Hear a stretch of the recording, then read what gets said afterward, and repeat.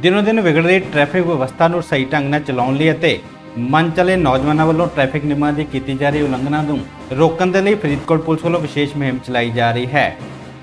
ਫਰੀਦਕੋਟ ਦੇ ਡੀਐਸਪੀ ਯਾਦਵਿੰਦਰ ਸਿੰਘ ਬਾਜਵਾ ਇਸ ਮੁਹਿੰਮ ਦੀ ਖੁਦ ਅਗਵਾਈ ਕਰ ਰਹੇ ਹਨ। ਇਸ ਸੰਬੰਧੀ ਉਹਨਾਂ ਨੇ ਜਾਣਕਾਰੀ ਦਿੰਦਿਆਂ ਦੱਸਿਆ ਹੈ ਕਿ ਪਿਛਲੇ 3-4 ਦਿਨਾਂ ਤੋਂ ਸ਼ਹਿਰ ਵਿੱਚ ਵੱਖ-ਵੱਖ ਹਿੱਸਿਆਂ 'ਚ ਨਾਕੇਬੰਦੀ ਕਰਕੇ ਟ੍ਰੈਫਿਕ ਨਿਯਮਾਂ ਸੰਬੰਧੀ ਲੋਕਾਂ ਨੂੰ ਜਾਗਰੂਕ ਕੀਤਾ ਜਾ ਰਿਹਾ ਹੈ ਅਤੇ ਜੋ ਨਿਯਮਾਂ ਦੀ ਉਲੰਘਣਾ ਕਰ ਰਹੇ ਹਨ, ਉਹਨਾਂ ਦੇ ਚਲਾਨ ਵੀ ਕੱਟੇ ਜਾ ਰਹੇ ਹਨ।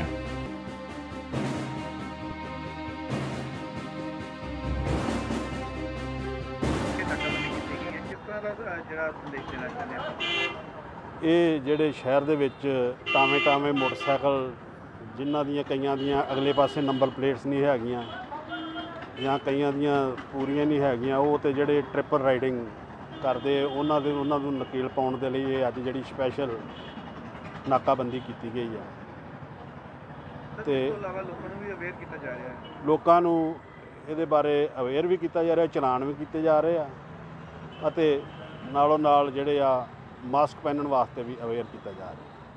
ਸਰ ਇਹ ਮੁਹਿੰਮ ਲਗਾਤਾਰ ਜਾਰੀ ਰਹੇਗੀ ਇਹ ਮੁਹਿੰਮ ਲਗਾਤਾਰ ਪਿਛਲੇ 4-5 ਦਿਨ ਤੋਂ ਚੱਲ ਰਹੀ ਆ ਤੇ ਅਗਾਂਹ ਵੀ ਰੈਗੂਲਰ ਜਾਰੀ ਹੈ। ਫਰੀਦਕੋਟ ਤੋਂ ਸੰਦੀਪ ਸੇਠੀ ਦੀ ਰਿਪੋਰਟ ਪੰਜਾਬ ਟੁਡੇ